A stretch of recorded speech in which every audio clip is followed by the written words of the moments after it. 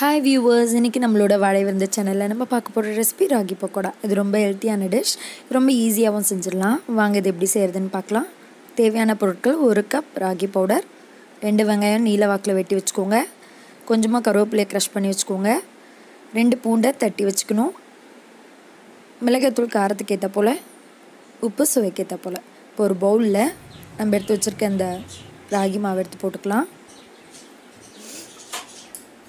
இது கூடவே நம்மளுக்கு தேவையான அளவு உப்பு ஆட் பண்ணிக்கலாம்.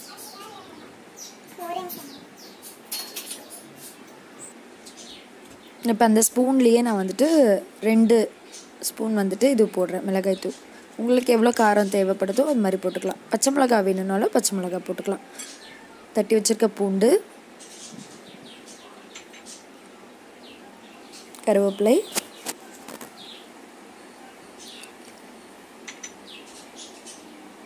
வெங்காயம். சரி இது எல்லாத்தையும் ஒன்றா போட்டு நல்லா மிக்ஸ் பண்ணணும். வெங்காயம் எந்த அளவுக்கு போடுறீங்களோ அந்தளவுக்கு இந்த பக்கோடாவில் வந்து நல்ல டேஸ்ட் இருக்கும். இது குழந்தைங்களுக்கும் ஸ்கூல்லேருந்து வந்த உடனே இன்ஸ்டண்ட்டாக ரெடி பண்ணி டக்குன்னு கொடுத்துடலாம். சுட சுட சாப்பிடும்போது ரொம்ப நல்லாயிருக்கும் இது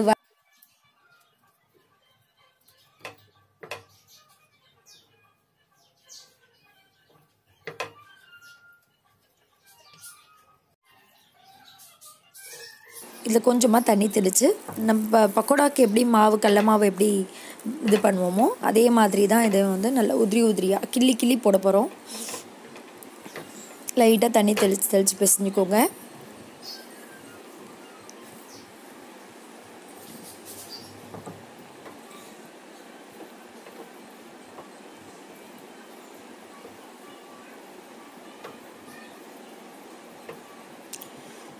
பாருங்கள் இதில் நல்லா மிக்ஸ் ஆயிடுச்சு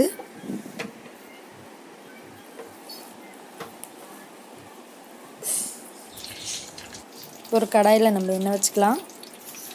எண்ணெய் நல்லா காஞ்சிருக்கான்னு பார்க்கணும். கொஞ்சமாக நான் மாவு எடுத்து போடுறேன்.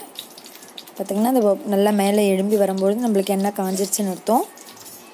இந்த ஸ்டேஜில் நம்ம இந்த மாதிரி பக்கோடாவாக கிள்ளி கிள்ளி அந்த மாவை வந்து இந்த மாதிரி போட்டுடலாம். ரொம்ப டேஸ்டியாக இருக்கும். இதை ட்ரை பண்ணி பாருங்கள் எப்படி இருக்குன்னு கமெண்ட் பண்ணுங்கள் பிடிச்சிருந்தா லைக் பண்ணுங்கள் ஷேர் பண்ணுங்கள் சப்ஸ்கிரைப் பண்ணுங்கள் மறக்காமல் பெல் பட்டன் ப்ரெஸ் பண்ணுங்கள்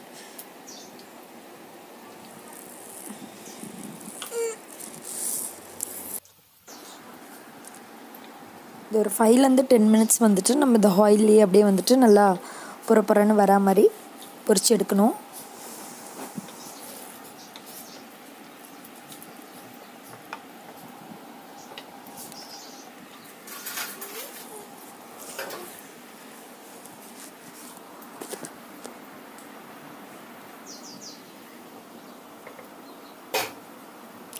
நல்லா ரோஸ்ட் ஆகிட்டுருக்கு முறுமுறுன்னு.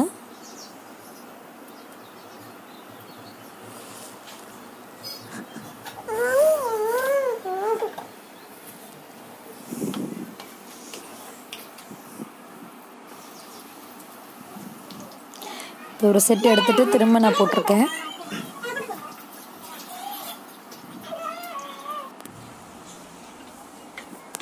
பாருங்கள் நல்லா வறுபட்டுடுச்சு.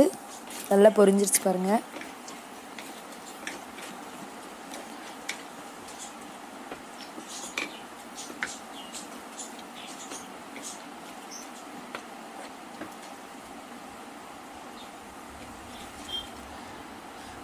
பாருங்கள் நல்லாவே இதுவாயிடுச்சு.